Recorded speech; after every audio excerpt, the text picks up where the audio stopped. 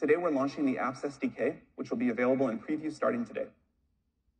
With the Apps SDK, you get the full stack. You can connect your data, trigger actions, render a fully interactive UI, and more. The Apps SDK is built on MCP. You get full control over your backend logic and front-end UI. We've published the standard so that anyone can integrate the Apps SDK. When you build with the Apps SDK, apps can reach hundreds of millions of ChatGPT users. We hope this will be a big deal for helping developers rapidly scale products. Thank you. If a user is already subscribed to your existing product, they'll be able to log in right from the conversation. And in the future, we're going to support many ways to monetize, including the new agentic commerce protocol that offers instant checkout right inside of ChatGPT. You could sketch out a product flow for ChatGPT and then say, Figma, turn the sketch into a workable diagram. The Figma app will take over, respond, and complete the action.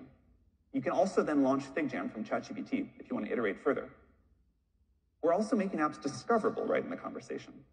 So when a user asks for something, we can surface a relevant app as a recommendation.